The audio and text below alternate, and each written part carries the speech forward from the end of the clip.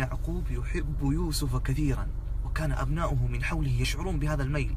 كان يشعر أنه سيكون ليوسف شأن في يوم من الأيام. حتى أنه من شدة حبه ليوسف إذا ذهب أبناؤه لرعي الغنم وأخذوا يوسف معهم لا تكتمل ساعة إلا ويرسل أحد الخدم أحضروا لي يوسف. كان يعقوب عليه السلام يحب يوسف كثيرا وازداد هذا الحب بعد أن جاءه يوسف في يوم من الأيام يخبره بهذا الأمر الذي حصل له في المنام. تخيلوا بالله طفل عمره 12 سنة 12 سنة يدخل على أبيه أبتاه رأيت في المنام رؤيا.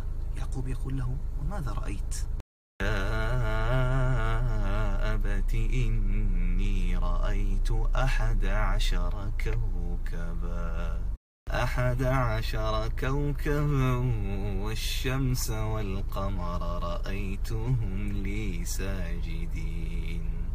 يا الله! غلام صغير يرى هذه الرؤيا أيقن يعقوب بعدها أنه لا محالة سيكون ليوسف شأن أحد عشر كوكبا والشمس والقمر ساجدين. يعقوب لم يكن مفسرا للأحلام لكنه أيقن أن ليوسف شأن. فأخذ الاحتياطات. يوسف لا تقصص رؤياك على إخوتك. يا بني لا تقصص رؤياك على إخوتك فيكيدوا لك كيدا. ذهبت لأي مكان وبدأتم تلعبون وبدأت الأحاديث والسمر إياك أن تقول هذه الرؤيا لإخوتك. أنت ما تعرف إيش يسوي الشيطان. إن الشيطان يا يوسف للإنسان عدو مبين. سيزرع الحقد بينك وبين إخوتك. لا تقصص الرؤيا.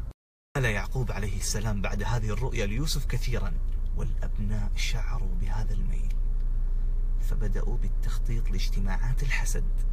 معليش سامحوني أذن لصلاة العشاء عندنا. كان ودي والله نخش اجتماعات الحسد ونشوف إيش اللي صاير وكذا لكن كان مو بعد العشاء بكرة إن شاء الله بإذن الله سبحانه وتعالى نكمل بإذن الله.